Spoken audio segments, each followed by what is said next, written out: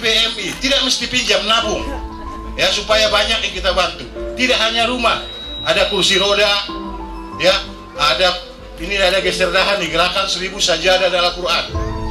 Ibu-ibu setiap minggu kita minta infak berapa seminggu? 2000 wakaf infak 1000 kan? Supaya apa? Supaya kita tolong menolong.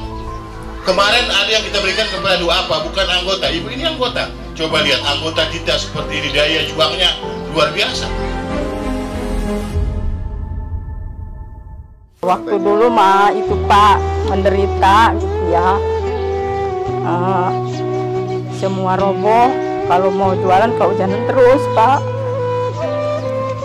Tapi sekarang udah bahagia Pak. Dari mana itu? Dari Bapak, doa Bapak. Kalau nggak ada Bapak di mana Pak? Nggak ada bahagianya. Juga sekolah, lulus itu. Dari mana? Dari koperasi.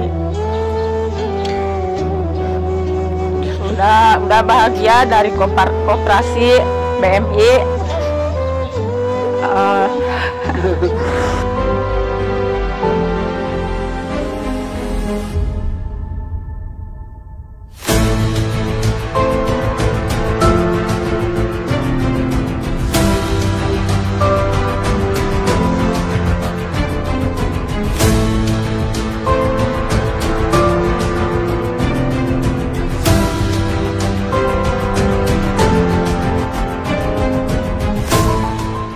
adalah salah satu anugerah yang memang patut saya syukuri selaku kepala desa di desa Sindangkarya. Dan ini juga patut disyukuri oleh Ibu Maria dan Pak Muksin serta masyarakat desa Sindangkarya. Sehingga kita bisa menyaksikan sama-sama kebahagiaan yang dirasakan oleh Ibu Maria dan Bapak Muksin.